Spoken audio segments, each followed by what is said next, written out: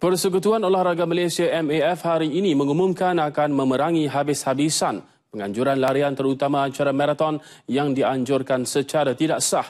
Justru MAF akan bekerjasama erat dengan Pesuruhjaya Sukan untuk memperketatkan peraturan menerusi garis panduan sebelum sebarang lesen atau permit dikeluarkan. Presiden MAF Datuk Karim Ibrahim berkata ia bagi menjaga nama baik MAF selaku badan yang menaungi acara olahraga di negara ini dari sebarang kesilapan yang boleh memudaratkan olahraga Malaysia. Without the permit, there is no marathon in this country or even uh, people who say that they want to do it a charity run.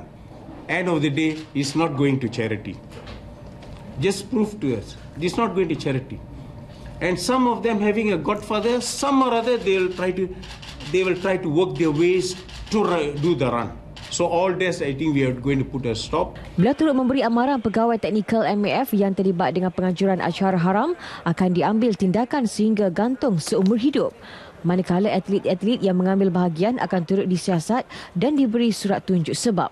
Datuk Karim bercakap dalam sidang media khas MAF di Wisma OCM susulan insiden kemalangan acara maraton di Kelang beberapa hari lalu.